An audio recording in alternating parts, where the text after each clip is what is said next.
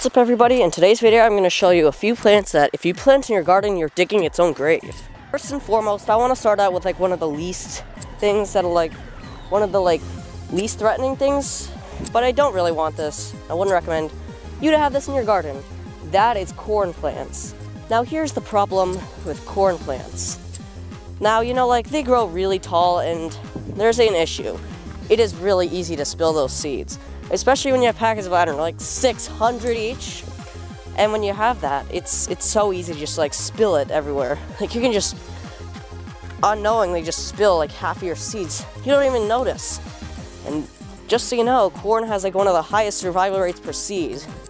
It's like if I like spilled like all over this area, 600 corn seeds, and this was all dirt, I would probably get, I don't know, like four or 500 corn plants to come up it's what, like an 83% survival rate? It's really high. And unfortunately, I have made this mistake before. So whatever you do, if you want to like to grow corn like everywhere, uh, do it in a separate area because most of the time, if you drive by like a garden, like if you're like driving like the countryside of the U.S., you know what I mean, like in the Midwest, you see all these farmers, you just drive by all these cornfields. It's because they're not planting them in their gardens. Now I'm also going to talk about pumpkins because their vines can get as big as 20 feet. And well, sometimes, usually you get like two to four pumpkins per plant. Where they sprout is un, is unironically in some of the worst spots. A few years ago when we did pumpkins, we had one sprout over like, I don't know, like, we had one sprout on the fucking fence. Jesus Christ, man. Like, if you have one on the fence, it's not my issue. It's probably not yours either. It's the plant's own skill issue. So you really need to make sure that you're planting it somewhere else.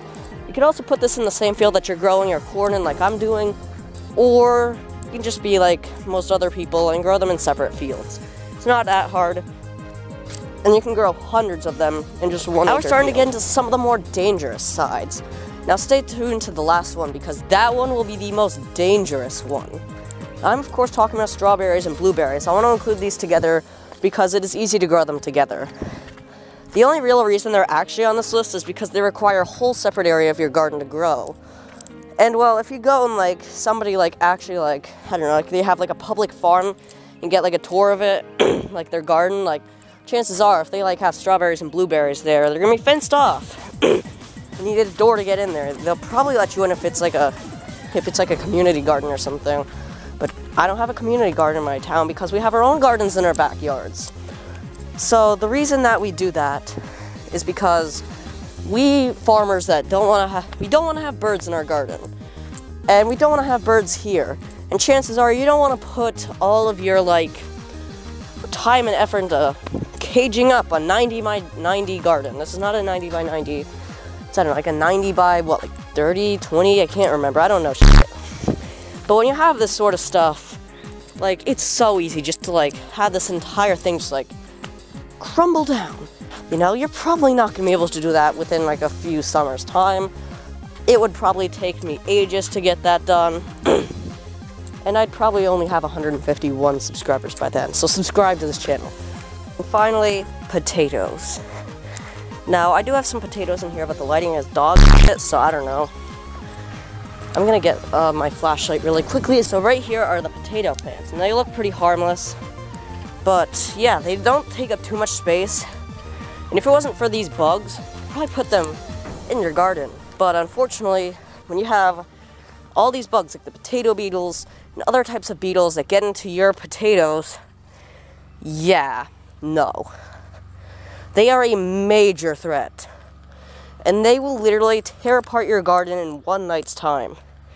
And it is an extreme danger. And extreme in all caps. No cap, just so you know. Extreme. I should even put exceptional right there. These are an exceptional threat to your garden. And well, don't put these in your garden. It's not all that hard. Grow them out here. Grow them near your home and in these. So that way nothing will really get to it. That was it for tonight's video. If you did enjoy, be sure to like and subscribe to this channel. I want to reach monetization soon, so that way I can actually afford to make some pretty high quality banger content. So stick around for that.